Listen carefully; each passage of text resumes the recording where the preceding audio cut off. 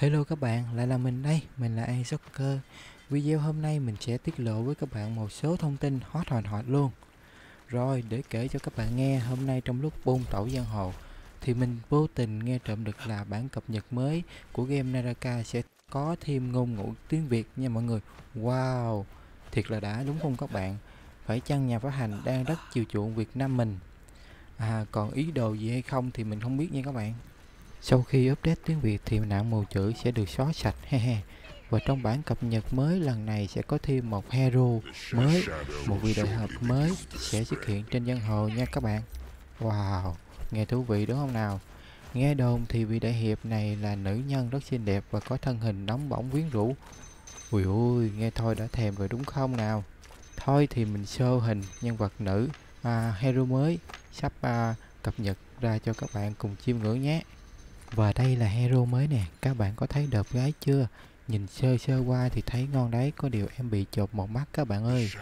Do là em đang ngao du ngắm biển Đông, ngắm biển Tây, sơ ý con chim hải âu nó quệt trúng và bị chột nhẹ thôi, hê. Đó chỉ là giả thiết của mình thôi. Mình còn nghe lén được là vị đại hiệp này có bộ kỹ năng làm chủ đại dương. Wow, nghe thôi đã muốn trải nghiệm liền rồi. À, thôi thì đợi update xong mình sẽ review nha các bạn. Các thông số kêu cũng như kỹ năng demo của nhân vật này vẫn chưa được nhà phát hành tiết lộ nhưng nhà phát hành hứa hẹn sẽ rất hoành tráng đó các bạn ạ. À.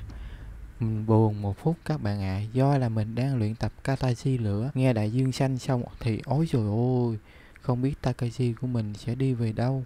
Lửa thì làm sao chống lại nước thì nôm nay dự kiến ngày 16 tháng 9 này sẽ update nè.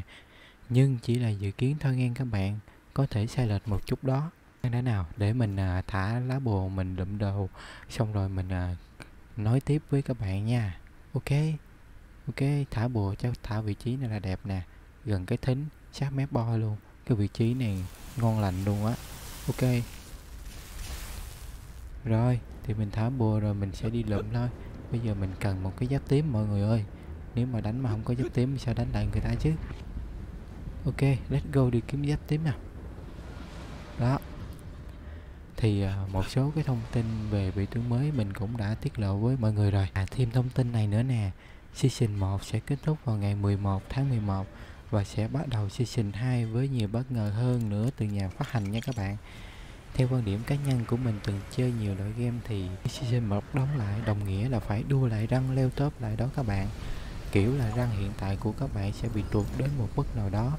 Nghe thôi đã chua lẹ chua lé hết rồi đó, và đó là những gì mình biết và mình muốn truyền tải thông tin này đến các bạn.